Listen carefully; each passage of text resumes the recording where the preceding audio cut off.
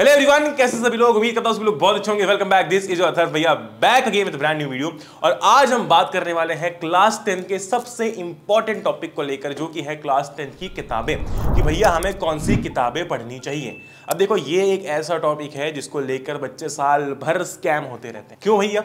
क्योंकि कोई एक ज्ञानी पुरुष आएगा, आपको बोलेगा, देख ले, ये किताब बहुत इंपॉर्टेंट है, ये किताब तो करनी ही पड़ेगी, तुम वो किताब खरीद के ले आओगे। फिर कोई दूसरा ज्ञानी पुरुष आएगा, तुम्हें बोलेगा, ये किताब बहुत इंपॉर्टेंट है, ये खरीद ले, ये करना बहुत इंपॉर्टेंट है। तुम वो किताब खरीद के ले आओगे। फिर तुम एनसीआरटी खोल के बैठी होगी, कोई और एक ज्ञानी पुरुष आएगा, तुमको बोलेगा अभी एनसीआरटी करने की ज़रूरत ही नहीं है एनसीआरटी बिल्कुल इंपॉर्टेंट होती नहीं है। तो साल भर ये चक्रव्यूह में तुम फंसे रहते हो और समझ ही नहीं आता कि भैया कौन सी किताबें करनी चाहिए, किस चीज़ के लिए कौन सी किताब है।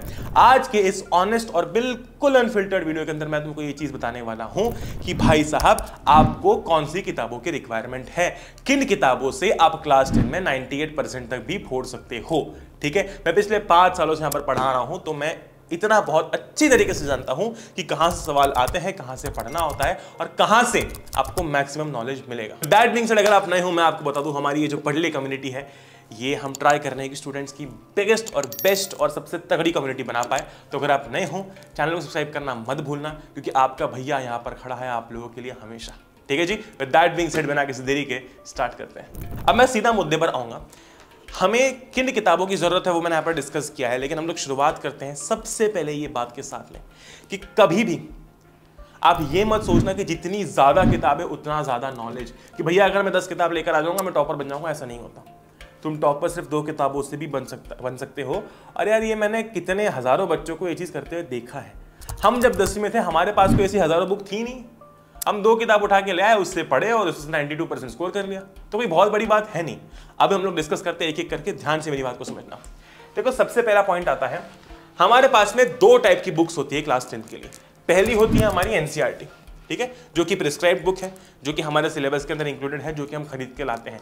एक बात बहुत इंपॉर्टेंट ध्यान रखने वाली ये है कि एनसीईआरटी लेटेस्ट एडिशन की खरीद के लाना। दो ऑप्शन आपके पास में, या तो आप एनसीईआरटी की पीडीएफ से पढ़ो, लेकिन मैं रिकमेंड नहीं करता कि आप पीडीएफ से पढ़ो। तो जो लेटेस्ट एडिशन की एनसीईआरटी जिसके अंदर सिलेबस डिलीटेड है ना, वो आप परचेज करके लाना। या फिर दूसरा ऑप्शन ये है कि लेटेस्ट एनसीईआरटी और अपनी एनसीईआरटी बुक को मैच करना और उसमें से जो जो डिलीटेड है लेटेस्ट में जो जो डिलीटेड है, वो अपनी बुक में से हटा देना। ठीक है? आपको एनसीईआरटी की पीडीएफ्स उसकी लिंक मैं डिस्क्रिप्शन में दे दूँगा। अगर आपने किसी सीनियर से अपनी एनसीईआरटी बोरो की है, उससे ली है, ठीक है? तो आप लेटेस्ट एनसीईआरटी के साथ में अपनी एनसीईआरटी मैच करना और जो भी लेटेस्ट एनसीईआरटी में नहीं है, जैसे कि मैथ्स में कुछ एक्सरसाइज रिलेटेड होंगी, है ना? कुछ क्वेश्चन रिलेटेड होंगे तो वो इसमें से कट कर देना। ठीक है जी? ग्रेट और दूसरी टाइप की बुक होती है रेफरेंस बुक्स यानी कि गाइड बुक्स जो कि हम एक्स्ट्रा परचेज करके लाते हैं, जिसके अंदर कॉन्सेप्ट को लेकर और इन्फॉर्मेशन होती है। चैप्टर को और इजी तरीके में समझाया होता है, आसान भाषा में समझाया होता है। तो ये दो टाइप की किताबें हम जनरली देखते हैं। अब बच्चे क्या करते हैं? बच्चों को लगता है कि भाई ये किताब तो है फालतू। इससे पढ़ने का कोई मतलब है ही नहीं। बच्चे लेकर आएँगे हज़ारों रेफरेंस बुक्स और भैया रेफरेंस बुक खरीद के लाऊँगा मैं तो। रेफरेंस बुक ये रेफरेंस बुक वो रेफरेंस बुक ऐसी पाँच छह रेफरेंस बुक जमा कर लेते हैं और पढ़ते एक भी नहीं है। ठीक है? तो हम लोग ये समझते हैं कि भैया फिर क्या ये एनसीईआरटी सही में फालतू किताब है? क्या हमें इससे नहीं पढ़ना चाहिए? समझते हैं। देखो, सबसे पहली और बहुत इंपॉर्टेंट बात है, आपकी नंबर वन प्रायोरिटी होनी चाहिए NCERT. NCERT should be your number one priority इससे बढ़कर कोई किताब नहीं है। ठीक है, अगर मैं स्पेशली आप लोगों से बोलूँ एम्फोसिस करके तो भाई सोशल साइंस और मैथमेटिक्स इन दोनों के अंदर आपको एनसीईआरटी की सबसे ज़्यादा रिक्वायरमेंट है। समझ रहे मेरी बात को? इसीलिए कभी भी गलती से भी ये मत समझ लेना कि भैया एनसीईआरटी इंपॉर्टेंट नहीं है। क्योंकि सवाल एनसीईआरटी में से उठ के ही आते हैं। सवाल एनसीईआरटी में से बन के ही आते हैं। एनसीईआरटी के कॉन्सेप्ट्स में से ही बनकर आते हैं। ध्यान रखना, मैं कॉन्सेप्ट शब्द को इस्तेमाल कर रहा हूँ, क्योंकि आगे जाके इसका इस पर मैंने डिस्कशन किया है। ठीक है? ये बात ध्यान रखना। इसलिए अगर कोई भी तुमसे ये कहता है, प्रभु मत मानो उसकी बात एनसीईआरटी इंपॉर्टेंट है। चाहे साइंस हो सोशल हो मैथमेटिक्स हो। ओके जी? ये बात हम लोगों ने बहुत इंपॉर्टेंट डिस्कस कर ली है। आगे हम लोग चलते हैं। नंबर टू नो रेफरेंसेस आपको रेफरेंस बुक्स खरीदने की ज़रूरत नहीं है। यहाँ पर मैं रेफरेंस बुक्स की बात कर रहा हूँ। यानी कि वो बुक्स जिसके अंदर आपको कॉन्सेप्ट uh, और इजीली समझाया जाता है जिसके अंदर एक्सप्लेन किया जाता है। देखो एक सिंपल सी फैक्ट मैं आपको बताता हूँ कि जब हम लोग टेंथ में थे पाँच से सात साल पहले तब रेफरेंस बुक्स पढ़नी पड़ती थी। क्योंकि क्या होता था कि एनसीईआरटी की लैंग्वेज समझना थोड़ा सा डिफ़िकल्ट होता है। और इसीलिए आप क्या करते हो, सबसे पहले आप लेक्चर देखते हो, है ना? या फिर आप स्कूल में लेक्चर अटेंड करते हो, अपनी कोचिंग में अटेंड करते हो, उसके बाद में फिर आप एनसीईआरटी पढ़ते हो। ये बात ध्यान रखना कि यही फ्लो होना चाहिए। कभी भी आप डायरेक्टली एनसीईआरटी खोल के नहीं बैठ जाओगे कि भैया चलो एनसीईआरटी खोल के आज पढ़ लेते नहीं, पहले लेक्चर देखो, अगर आप मेरी बैच में हो, पहले लेक्चर देखो। कोई और बैच में हो लेक्चर देखो। यूट्यूब से पढ़ रहे हो लेक्चर देखो। उसके बाद ही एनसीईआरटी करना। ठीक है? पहले एनसीईआरटी खोल के मत बैठ जाना, कुछ समझ नहीं आएगा गारंटी के साथ बोल रहा हूँ। ठीक है जी? दूसरी बहुत इंपॉर्टेंट बात जनरली हम ये फॉलो करते हैं कि लेक्चर देखा, फिर एनसीईआरटी करी। तब क्या होता था कि हमें स्कूल में जो पढ़ाया जाता था कोचिंग में जो पढ़ाया जाता था, वो हम पढ़ के आते थे और एनसीईआरटी खोल के बैठ जाते थे। अब मान लो कि टॉपिक समझ में नहीं आया तो क्या करेंगे? तब हम रेफरेंस बुक्स का इस्तेमाल करते थे कि नहीं यार रेफरेंस बुक खोल ली, और ये जैसे कि मान लो मुझे चार्ज समझ में नहीं आया इलेक्ट्रिसिटी के अंदर। तो मैंने रेफरेंस बुक में देखा अच्छा चार्ज क्या होता है? अब आज के पास, आज की डेट में तुम्हारे पास में यूट्यूब है। तुमने डाला व्हाट इज़ चार्ज तुम्हारे पास में हज़ारों वीडियोस आ जाएँगे। किसी भी किताब से ज़्यादा अच्छे से तुम्हें वीडियो से ही समझ में आएगा। ठीक है? तो तुमने वो वीडियो देख लिया चार्ज के नोट्स बना लिए charge complete charge solve charge clear है कि नहीं? इसीलिए ध्यान रखना कि आपको रेफरेंस बुक की ज़रूरत तब पड़ती है जब आपको एनसीईआरटी की लैंग्वेज समझ में ना आए। बहुत सारे बच्चों को नहीं आती, इसलिए वो पहले लेक्चर देखते हैं फिर एनसीईआरटी पढ़ते हैं। ठीक है? अब तो आपके पास लेक्चर देखने का ऑप्शन भी है। है ना? इसीलिए ध्यान रखना कि आपको रेफरेंस बुक खरीदने की ज़रूरत नहीं है कि मैं दस रेफरेंस बुक लेकर आ जाऊँ साइंस की अलग सोशल की अलग मैथ्स की अलग। ठीक है? हाँ अगर आपके पास में है, अगर आपको पसंद है पढ़ना तो बात अलग है। लेकिन ऐसा रिकमेंडेड मैं मतलब रिकमेंड नहीं करूँगा कि नहीं नहीं, ये करना ही पड़ेगा तो ही 98 परसेंट आएँगे। ठीक है? It it is not a must have चीज़ कि मस्ट हैव होनी ही चाहिए। गुड टू हैव है तो ठीक, नहीं है तो कोई ज़रूरत नहीं है। ठीक है? ये बात क्लियर कर लो। आगे हम लोग बढ़ते हैं, बहुत इंपॉर्टेंट चीज़ में भैया क्वेश्चन बैंक भी तो रेफरेंस बुक्स है। देखो, मेरी जान एक बात समझो। मैं तुमको एक चीज़ बहुत क्लियरली और बहुत इंपॉर्टेंट बताता हूँ। ये चीज़ नोट डाउन कर लो। एनसीईआरटी करना बहुत इंपॉर्टेंट है, हम लोग करेंगे।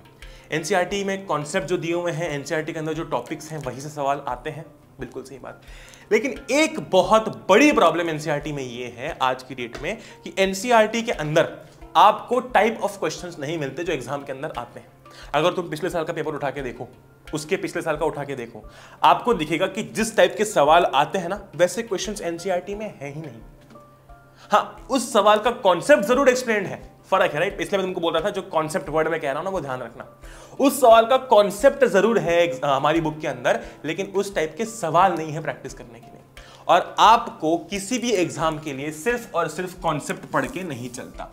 आपको कॉन्सेप्ट के साथ साथ सवाल भी करने होते हैं। ठीक है?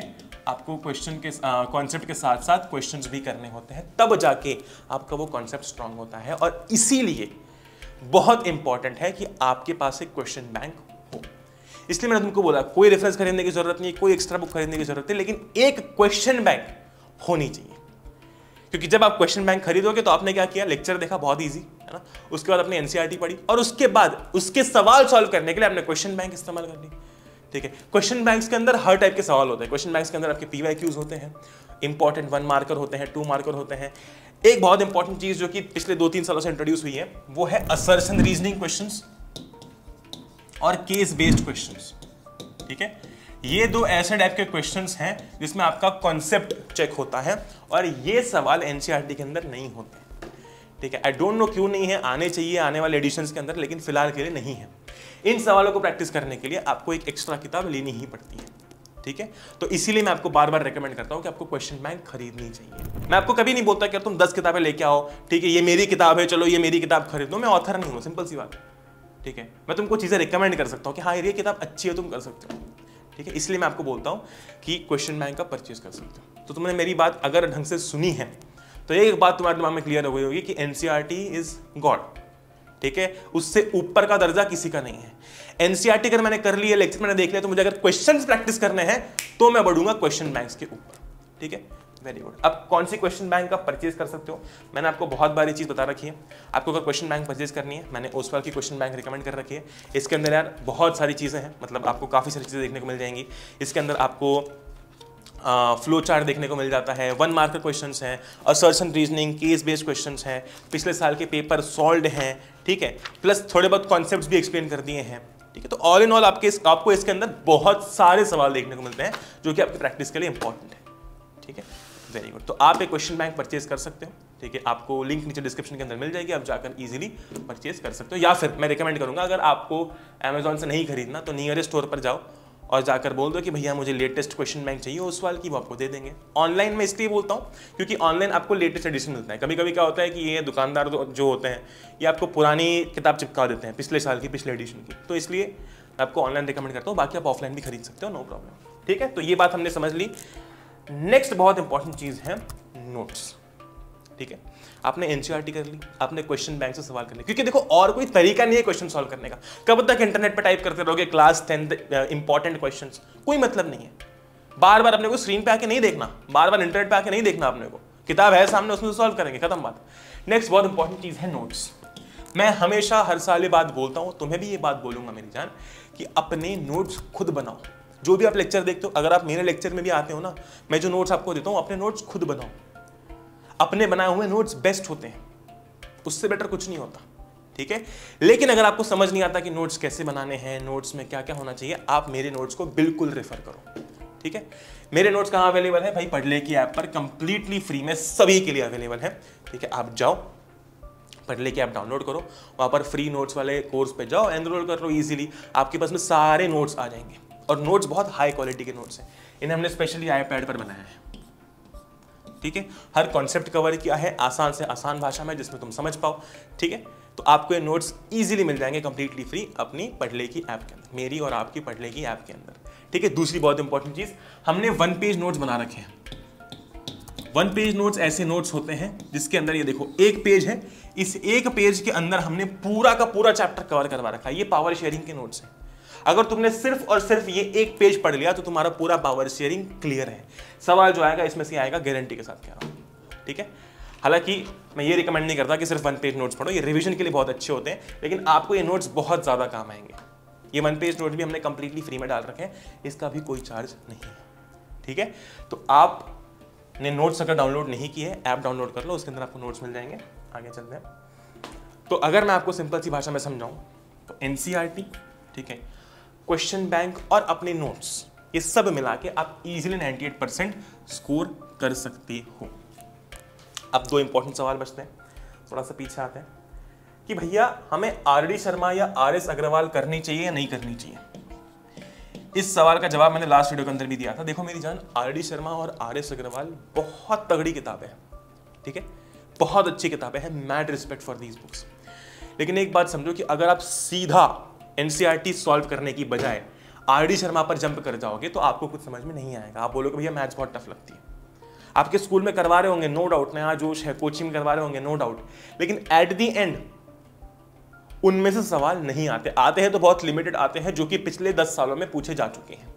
ठीक है? वैसे ही सवाल रिपीट होके आते हैं। इसीलिए एक बात बहुत इंपॉर्टेंट समझना, ये बात आपको कोई नहीं बताता और ये समझना बहुत इंपॉर्टेंट है कि अगर आप मैथ्स में स्ट्रगल करते हो, अगर आपको मैथ से डर लगता है और फिर भी आप सोचते हो कि नहीं, मैं आर डी शर्मा भी सॉल्व करूँगा, मत करो। रिक्वायर्ड नहीं है। कितनी बार मैं ये बात चिल्ला चिल्ला के तुमको बता चुका हूँ रिक्वायर्ड नहीं है। ठीक है? अगर आप मैथ एंथुजियास्ट हो, आपको मैथ सॉल्व करना पसंद है, आपको मैथ्स बहुत अच्छा लगता है तो आप R D Sharma R S Agarwal करो ना, कोई दिक्कत नहीं है। लेकिन अगर आप मैथ्स में वीक हो, आप शुरुआत करो एनसीईआरटी के साथ में। एनसीईआरटी के एग्जांपल सॉल्व करो। एनसीईआरटी की बैक एक्सरसाइज सॉल्व करो। ठीक है, जो क्वेश्चन बैंक खरीदी है, वो सॉल्व करो। अगर ये हो जाता है, मैथ्स में इंटरेस्ट डेवलप आज हो जाता है तो फिर आर डी शर्मा करो, आर एस अग्रवाल करो अपने फ्री टाइम में। मज़ा आता है वो सॉल्व करने में सवालों को। टफ क्वेश्चन होते हैं, ठीक है? लेकिन अगर आप सिर्फ़ क्लास टेंथ के हिसाब से मुझसे पूछो, ठीक है, ऐसा रिक्वायर्ड नहीं है कि आर डी सॉल्व करोगे तो ही नाइन्टी फाइव परसेंट आएँगे। ठीक है, ये बात मैं आज बहुत इंपॉर्टेंट क्लियर कर देता हूँ। आपके स्कूल में आपको बताया होगा आरडी से सवाल आते हैं, आर से सवाल आते हैं। वो सवाल ऑलरेडी दस साल में पूछे जा चुके हैं और आता है तो मुश्किल से एक सवाल आएगा। ठीक है, ज़्यादा से ज़्यादा एक सवाल आ जाएगा। इसका मतलब ये थोड़ी कि हम अपना पूरा टाइम लगा दें उसके पीछे, जिसमें हमको समझ ही नहीं आ रहा। फिर तुम बोलोगे, भैया मैच टफ लगती है। ऑलरेडी ऐसी किताब है जो कि सहूलियत से, आराम से सॉल्व करने वाली किताब है। हड़बड़ी में सॉल्व करने वाली किताब नहीं है वो। तो आरडी को प्रैक्टिस बनाना पड़ेगा आपको। अगर आपको मैथ्स में मज़ा आता है तो उसको प्रैक्टिस बनाओ रोज करो सॉल्व तो मुझे उम्मीद है कि आपको ये वीडियो पसंद आया होगा। मेरी जान देखो आ, मैंने जैसे कि आप लोगों को बोला कि नोट्स फ्री में अवेलेबल हैं ठीक है? वन पेज नोट्स फ्री में अवेलेबल हैं। हमने यार जो योद्धा बैच और अनंत योद्धा बैच लॉन्च की थी वो बहुत अफोर्डेबल प्राइस पे लॉन्च की थी। दो हज़ार रुपये में पूरे साल भर का कोर्स और तीन हज़ार रुपये में इंक्लूडिंग बुक्स हम लोगों ने अपने जेब से पैसा खर्च करके बच्चों के घरों तक बुक्स पहुँचवाई हैं डिलीवर करवाई हैं ठीक है? तो हमारा गोल यहाँ पर ये नहीं कि मैक्सिमम से मैक्सिमम बच्चे ले लो और पैसा बना लो डन हमारा गोल ये है कि कम से कम फ़ीस में कैसे सभी बच्चों तक एजुकेशन पहुँच सकता है। ठीक है? दूसरी बात मेरे पास कुछ मेल्स आए कि भैया हम ये भी अफोर्ड नहीं कर पा रहे हमारी कंडीशन इतनी अच्छी भी नहीं है कि हम ये कोर्स भी अफोर्ड कर पाए। किसी किसी की आ, किसी के पिताजी की शायद जॉब चली गई है फिर किसी के घर में फाइनेंशियल तंगी है फाइनेंशियल प्रॉब्लम है। देखो आपको भी चिंता करने की ज़रूरत नहीं है। मैं हूँ यहाँ पर ठीक है? मैं आपके लिए यूट्यूब पर भी कंटेंट लेकर आऊँगा यूट्यूब पर भी लेक्चर्स लेकर आऊँगा। ऐप के अंदर भी आप लोगों के लिए फ्री कंटेंट लेकर आऊँगा ठीक है? मत चिंता करो। आपको अगर लगता है आपके लिए कोई नहीं है मैं हूँ। मैं खड़ा हूँ यहाँ पर। मैं तब तक खड़ा हूँ जब तक मैं एक एक बच्चे तक ये एजुकेशन नहीं पहुँचा देता प्रॉमिस है मेरा ठीक है? बस एक चीज़ मैं आप सभी से बोलूँगा कि यार आ, आप मेरा परिवार हो मेरी फैमिली हो ठीक है? इसीलिए एक ही चीज़ बोलूँगा कि आप सपोर्ट करते रहो, प्यार दिखाते रहो। क्योंकि जब आप एक प्यारा कमेंट नीचे छोड़ते हो, जब आप बोलते हो, नहीं भैया अच्छा लगा वीडियो मज़ा आया। मुझे दस नए वीडियो बनाने का मोटिवेशन मिल जाता है। दस नए लेक्चर्स रिकॉर्ड करने का मोटिवेशन मिल जाता है। कि नहीं यार यूट्यूब पर भी और लेक्चर्स डालेंगे, आपके लिए। बस एक चीज़, आपका प्यार, आपका सपोर्ट दैट्स इट इससे ज़्यादा हमारा फ्यूल है ही नहीं। ऑनेस्टली बता ठीक है जी? दिल से लव यू ऑल मैंने आपको मेरा ऑनेस्ट ओपिनियन दे दिया है किताबों के बारे में कि आपको क्या किताबें चाहिए रिक्वायर्ड हैं। इसके अलावा आपको और किसी चीज़ की रिक्वायरमेंट नहीं है। साल के एंड में आने के बाद आप खुद बोलोगे कि भैया सही बात कह रहे थे, मैंने फालतू में दस किताबें खरीदी। वादा है। Love you all take care जय हिंद. वंदे मातरम. Good bye